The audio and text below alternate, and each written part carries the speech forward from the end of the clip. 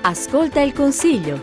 Il Parlamento del Piemonte alla radio. Ben ritrovati. Seduta straordinaria di Consiglio il 17 dicembre per illustrare le politiche della Regione contro la disoccupazione e per promuovere il lavoro. L'assessore Porchietto ha fatto il punto in una fase nella quale il Piemonte ha raggiunto un tasso di disoccupazione del 9,8% contro l'8,6% del 2012. L'Assemblea ha poi approvato a maggioranza l'esercizio provvisorio del bilancio 2014 sino al prossimo 31 gennaio, accogliendo l'emendamento proposto dall'opposizione e le modifiche all'applicazione dell'addizionale IRPEF determinata per scaglioni di reddito. Wilmer Ronzani, Partito Democratico. Ricorreremo all'esercizio provvisorio per il terzo anno consecutivo e siamo una delle regioni italiane che aumenteranno l'IRPEF in maniera da pesare moltissimo sui redditi più bassi. Questo francamente inaccettabile per una maggioranza che ha vinto le elezioni proponendo di ridurre le tasse. Roberto Tentoni, Progettazione. L'incertezza giuridica che proviene dal governo consiglia evidentemente di andare cauti nell'approvazione del bilancio. Quanto all'aliquota IRPEF eh, occorre ricordare che quello che succede oggi è figlio di un passato riferentesi al governo Bresso.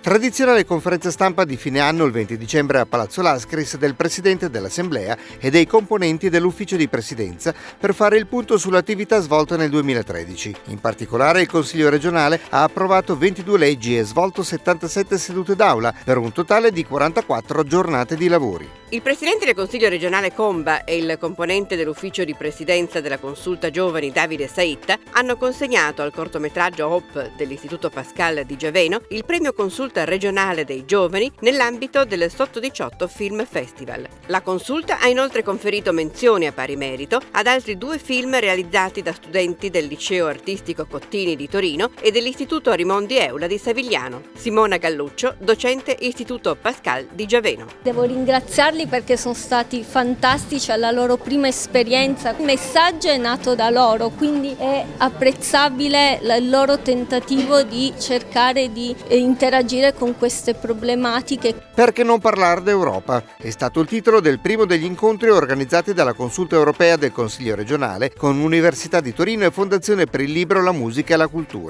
L'appuntamento al campus Einaudi di Torino, in collaborazione con Unstation, rete dei media universitari, ha offerto spazio alla riflessione sui linguaggi comuni, con al centro new media, musica e rapporto giovani ed Europa.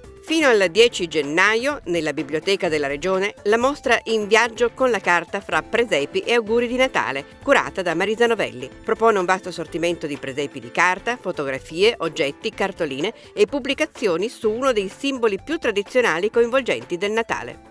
Ed è tutto dal Consiglio regionale. Buone feste! Ascolta il Consiglio il Parlamento del Piemonte alla radio.